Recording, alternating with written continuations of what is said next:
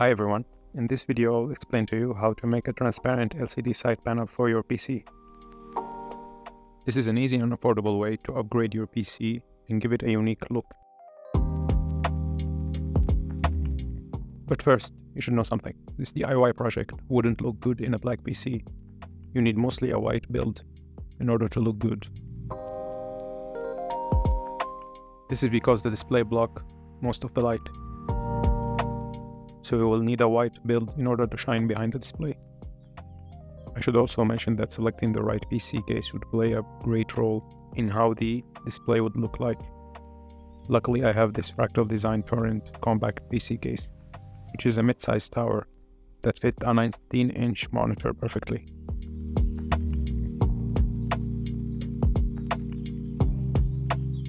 Here are the tools and materials you need. At least a 19-inch monitor with a 4x3 aspect ratio. I would not recommend a 16x9 aspect ratio. 12 volt white LED strip, soldering iron and solder, white or black adhesive film, scissors or cutter. Are you ready? Let's go. Preparing the LCD display. Remove the LCD display from the housing. Disconnect the display connectors from the mainboard. Remove the power supply and other circuits from the back of the monitor as shown.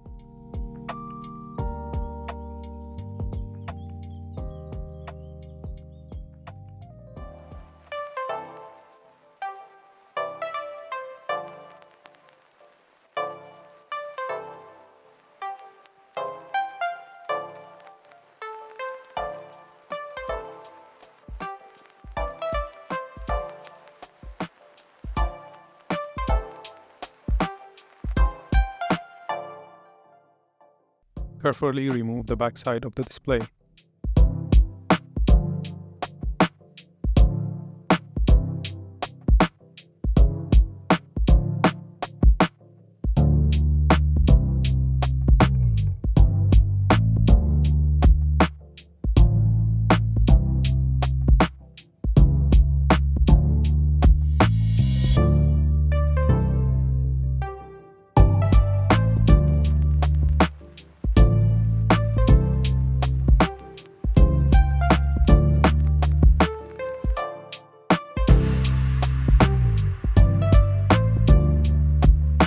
Remove the anti-glare layer by soaking it in a wet towel for at least 4 hours.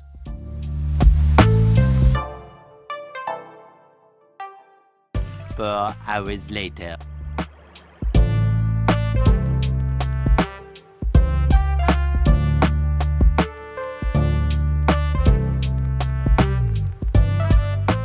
My display have two anti-glare layers, one on each side. Please note that some displays have this type of connector and other look like this. For this project, it's better to find a monitor with this type of connector. Unfortunately, I cannot tell you what type of monitor to buy, but I would recommend buying the same model that I have, if possible. Apply the self-adhesive layer as shown. It serves two purposes. The first is to protect the sensitive connectors as they are very fragile. Second, it will look better inside the PC case.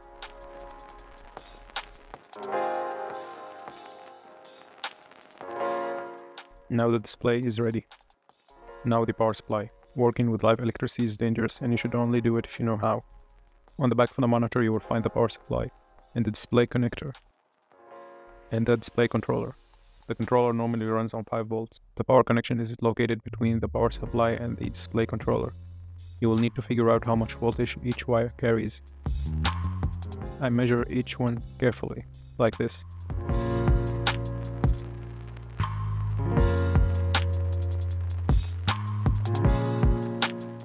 We move them like this. As you can see here, I have two 5 volts and two ground or minus. You can ignore the rest of the wires.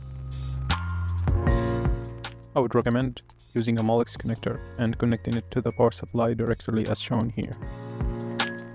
Now our display controller is ready and can be run using 5V. You could also run it using a 5V USB cable, but you will need to change the settings in the motherboard to cut off the power when the PC is off, otherwise the display will stay on.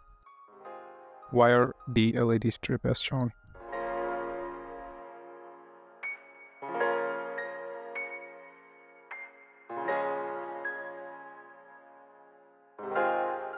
I recommend connecting the LED strip to the motherboard 12 volt LED connector as shown.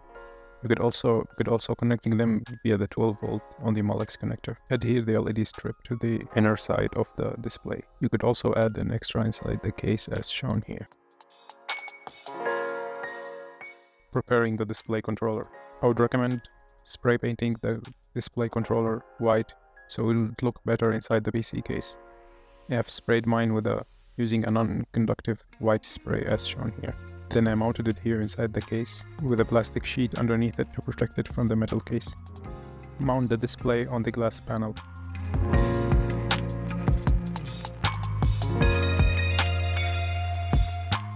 Could use double-sided tape or regular tape. I've chosen to use regular tape as I have used double-sided tape before and it was very difficult to remove the old display from the case. Insert the LCD display into the housing. Reconnect the display connection to the display controller as shown.